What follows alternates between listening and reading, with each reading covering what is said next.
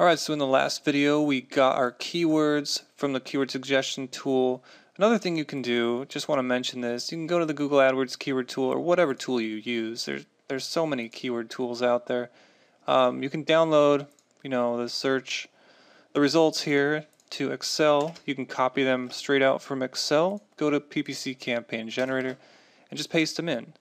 And so after doing that, click this remove duplicate keywords and that gives us 1655 unique key phrases.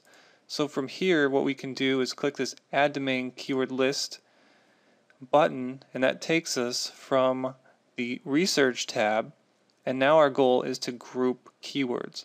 Before we actually group keywords let's take a look at the settings which determine how to actually group keywords. So we have this analyze frequency area.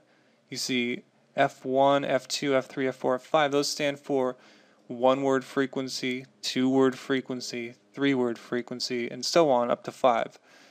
Let me just show you what a one word and two word keyword frequency actually means. So save changes, hit this analyze button, and what that's doing is it's looking at the main keyword list area here, and it is returning the keyword density or how frequently a specific word or phrase appears. So in this column F1 and this keyword column here, this you can see that these are one word phrases.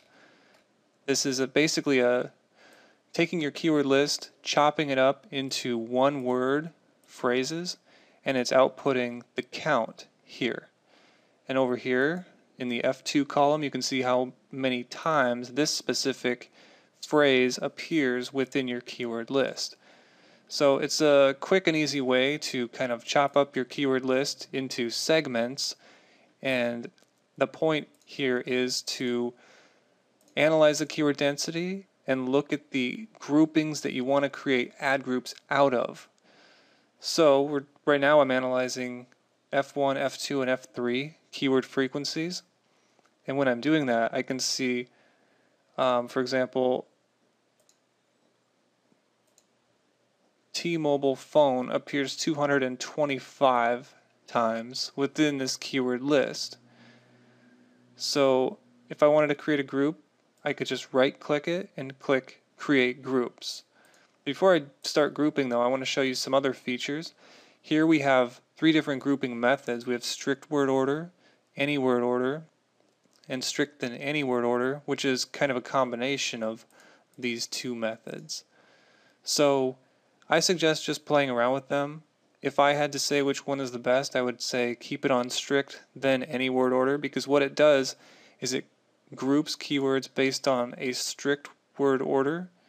For example, if I click analyze, it's going to look at the word, the phrase density, and it's going to make sure that the proximity of these words appear in a certain order. And then after that, it's going to see what keywords were not grouped. And those are pretty much keywords that go into this group called the sort group. And it's going to try and group them using an any word order, meaning those keywords might contain the same words from the group, but they could appear in any order. So this might not make a lot of sense, which is why I just suggest using the strict than any word order because I feel it gives the best results. You can also group each keyword into its own ad group. This is a feature used by people with not usually huge keyword lists. And you don't want to use this with long tail keyword lists. You want to use this primarily for keyword lists that have maybe, you know, a couple hundred at the most keywords. And I'll just check that just to show you what it does. We can go here use this keyword grouper. This is an automatic keyword grouper that's built into the tool. Hit generate common themes and you'll notice that it says 1655 common themes found. And that's exactly how many keywords are in our keyword list. We hit next, it's going to show us one keyword per ad group that would be created. We're not going to do that, but the benefit of that is you can put one keyword in its own group and you can have multiple different match types. So for example, you can have the keyword um, mobile phone in its own ad group, and it could have broad phrase, exact, and modified broad if you wanted to.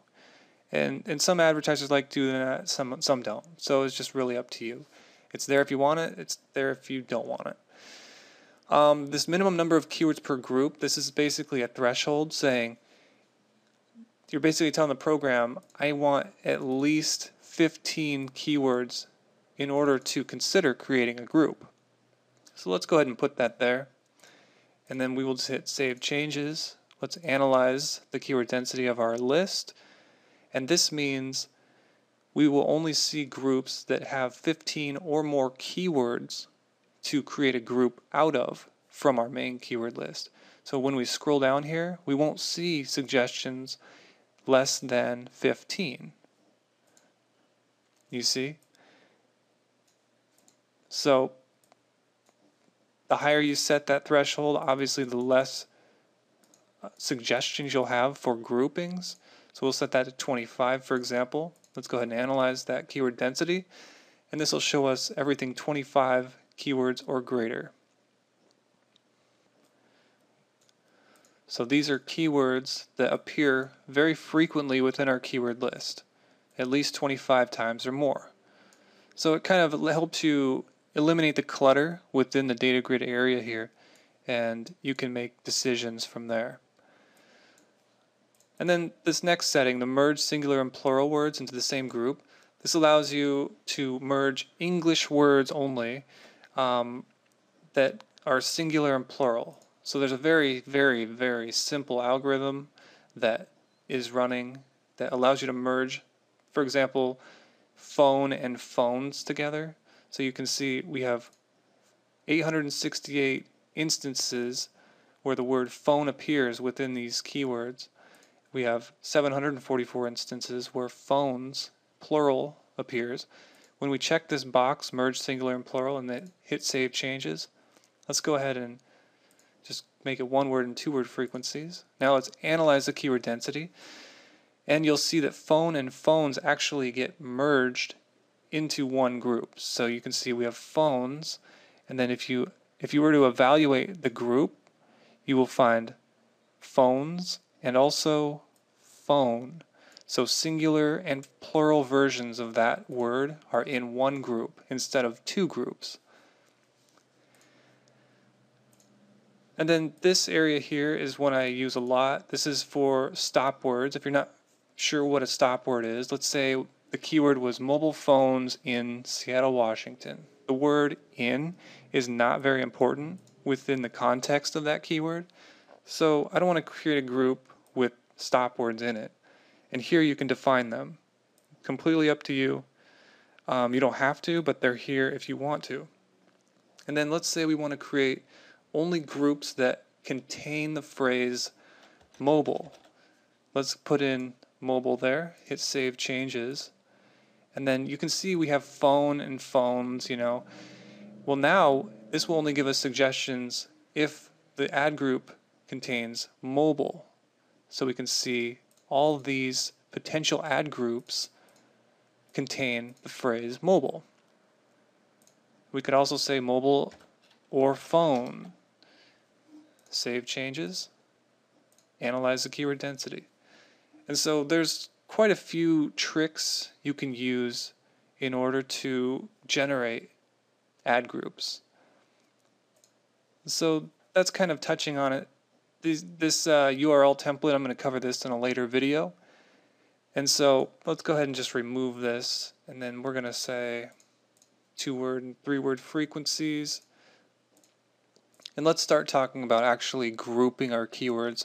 And since this video is kind of getting long, I've already discussed most of the settings, so this video will be for the settings. Let's go talk about the grouper video now in the next video.